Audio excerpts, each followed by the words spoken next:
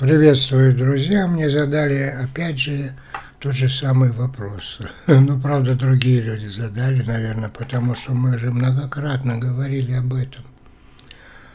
А, как сделать так, чтобы, попадая в стресс, вы могли сразу вспомнить, что эту энергию напряжения можно перенаправить, как в айкидо, на решение ранее нерешаемых вопросов. Например, дорисовать картину или сделать изобретение, ну, любой вопрос, который раньше вы пытались решить, пытались решить, и у вас не получалось, как, например, вспомнить фамилию, пытаетесь, пытаетесь, не можете, и после трех-четырех попыток потом перестали об этом думать, и она всплыла.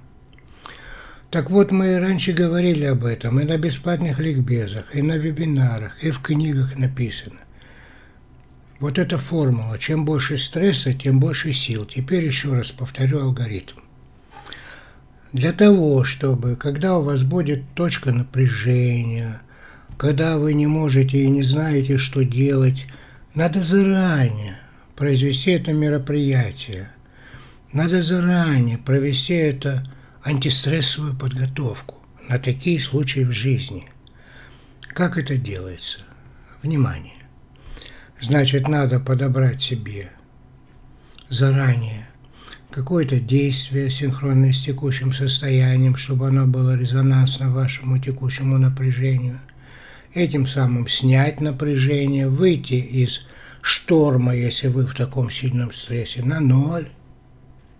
А если вы исходно были и так в нормальном состоянии, еще глубже погрузиться в нулевое состояние – и в этой глубокой нирване, то есть состоянии мозгового санатория, то есть состоянии глубинной безмятежности, ну, состояние, где нет страхов, комплексов, шаблонов мышления, в этом нуле, на его фоне помечтать о том, что в будущем, если когда-либо вы столкнетесь со стрессом, что вы мгновенно вспомните ранее нерешаемые вопросы, над которыми вы старательно думали, но решить не могли.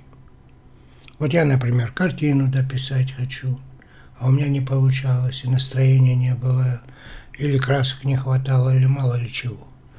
Или еще пытался рассказ сделать, да, или мне надо что-то подготовить, а у меня не получалось. Все из рук валилось, потому что была висящая проблема, потому что мне было не до этого.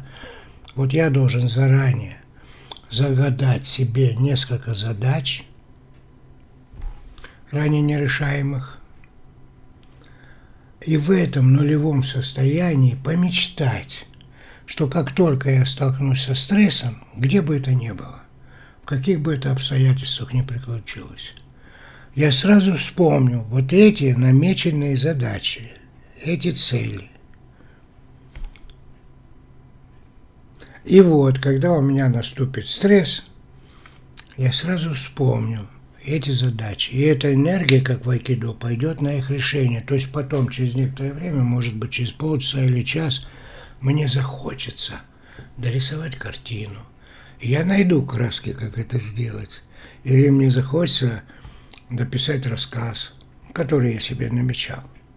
Получится, потому что включатся подсознательные ресурсы на исполнение этой намеченной мотивации. А как заякорить, чтобы это было крепче, надежнее и гарантированнее? Процедурно. В этой антистрессовой подготовке во время этого предварительного мероприятия с намечаемыми задачами во время цели стрессового состояния. Вы еще можете добавить туда микромероприятия для якоря. Кодировка такая. Например, разминание ушей. Например, разминание пальчиков, всех 10 пальчиков, узелки на память это переключатели доминанты. Они помогают вам выйти из состояния зависания в стрессе.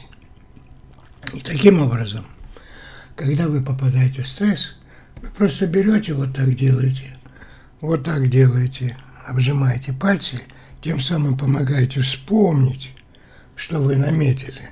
И именно как в айкидо, туда энергия напряжения перенаправится. Теперь, я думаю, понятно. И формула такая. Запомните, во время самокодировки якорения на случай стресса, чем больше стресса, тем больше сил. Вот так. Итак, друзья, до встречи.